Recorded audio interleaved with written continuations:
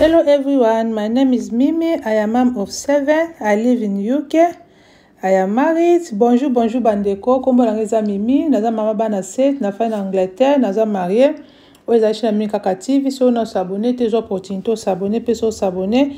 Kobo sa tena cliquer ko notification. This is Mimi Kaka TV. If you are not subscribing yet, Please subscribe then hit the notification bell. God will bless you. Today is Friday. My children asked me to make them uh, mashed potato, chicken and broccoli. Lelo ezali vendredi bana basengaki babike nasala bango mashed potato na na soso na soso na broccoli mpo bayeba na kolia so bauti school then oyo ezali routine nasi deja na nasi deja na, na saisonaki yango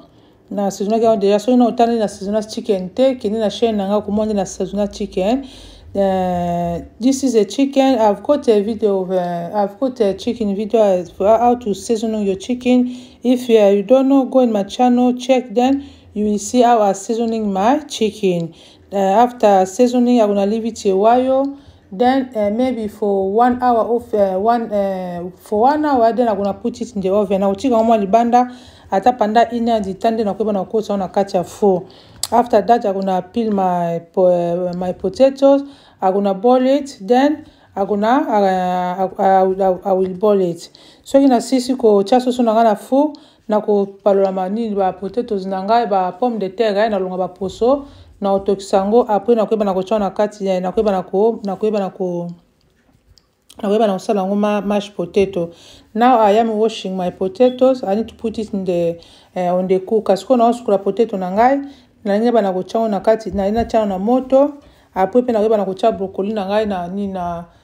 na nzungu na ngai electrique then akuna put my broccoli on uh, on ma electric uh, my, my electric cooker soki nasilisi wana when they back then they gonna put their clothes in the washing machine my, my son joseph uh, uh, yeah, we putting the clothes in the washing machine and my firstborn he gonna when, when they finish to eat he gonna you're gonna do the washing up uh, you're gonna do the you're gonna do the washing up soki batisi kolia mwana nga mobali ya liboso akoyeba na kotya akoyeba na kosuka basani mpe mwana nga su joseph ye akoyeba na kotya bilamba na machine i always to i always say as a parent we need to encourage our children how to do how to make chores you know it will be benefits for them when they grow up they'll be familiar with that you know you're gonna uh, it will be helping them to tudu co where they we living yango napesaka toujours conseil ke bamama esengi tolelasa bana na biso misala chaine yango nayaka mpona koencourage bamama mpo baza mpe na bana ebele lokola ngai koengage bana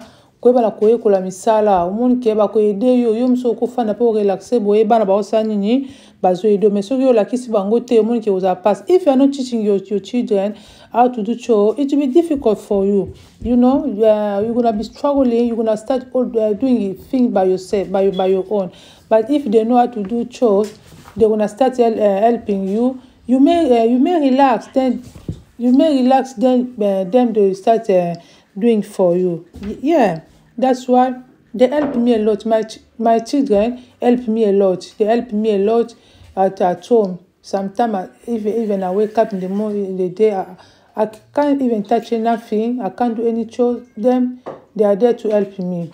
Même si nazalaka mpe na ndako boye na kosala na ngai eloko te bana ngai bazali wana baza toujours kosala nini koede ngai omoni ke ekozala ekozala malamu eh, ekozala mpenza malamu yeah now my potato is a, is a, is a boiling Ako na take it, ako na close my cooker and my chicken as well is there in the oven. Me, uh, it will be it will be ready soon. Potatoes na nga pe yango wana ezotoka kala te na kokanga moto. Chicken na nga pe yango wana eh. esi ebeli nango deja now i need to take off my potato from the, uh, from the pot to put in the bowl to start my, uh, uh, mash, uh, to start matching my uh, match my matched my potatoes. Yeah, it's it's nice. Sometimes we need to try new things. Yeah? Because this food they eat at school, my children they like mashed potato. They like the way I make for them.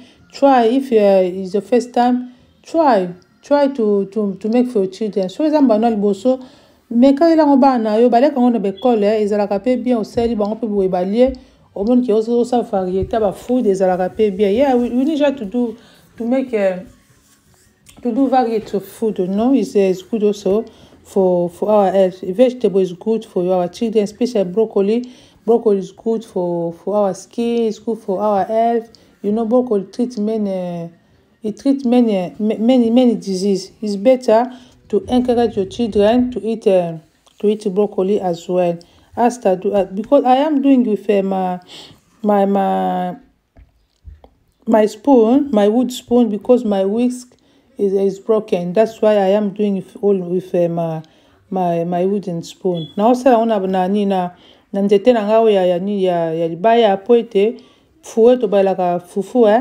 ebukanaki yango wana nazobalola yango boye soki nasilisi naotiango mwa, mwa bata naotiango mpe na milk dase oyo naotiango ka yango wana bamosusu oyo eza maniere nanga nasalelaka balingela yango boye bamosusu mpe namona batiaka mwa babiloko ebele me ngai natiaka nanga kaka natiaka nanga kaka bata natie natie na nini na milk yeah i put i will just put uh, some uh, some uh, milk and some butter As, as so many people they put a, a lot of lot of things inside, but me they like it just with butter and uh, and milk. Yeah, now my potato is ready with chicken and my broccoli.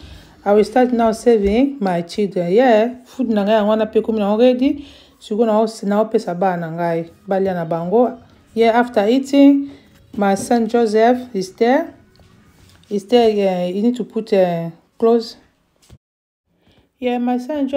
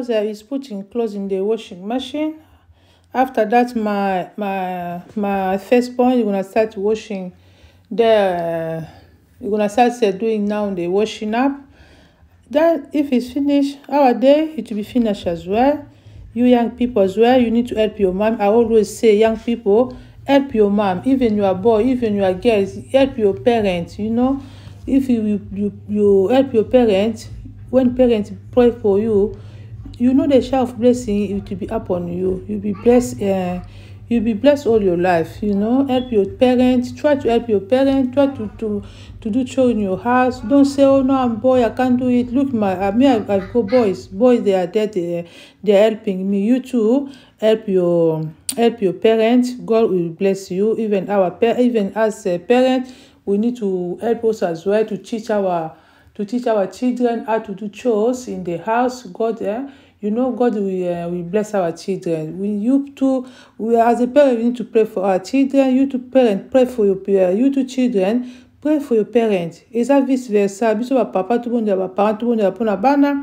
bana mpe babondela mpona babondela mpe mpona biso bino mpe bayangi ya eh, bajeune jean bozwa mpe na bitita koede baparent na bino talanga naza na bana na ngai mibali ba bango bazoede ngai mwana nga mobali wana ya mokolo azosukolela nga basani mpo te nga nalembaki eh, mwana nga mpa mwasi alembaki mpe eh.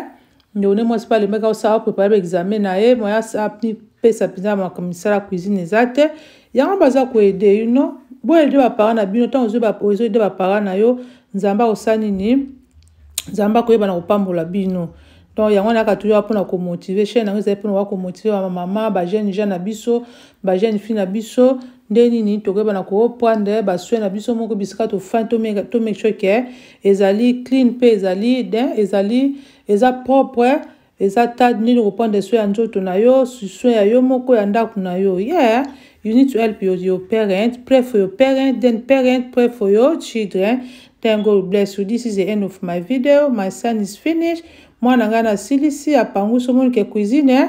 elei nango propre eh? biso na ndako na biso tozalaka boye donc don't forget to subscribe don't forget to comment kobosana ntina kosabone Kobosa te na ko partager. Nzambe apambola bino. Tokutani lisusu na mbala ya sima. Napesi bino kaka ba bye bye.